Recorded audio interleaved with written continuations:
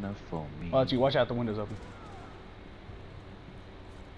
Should I throw a stun grenade in there?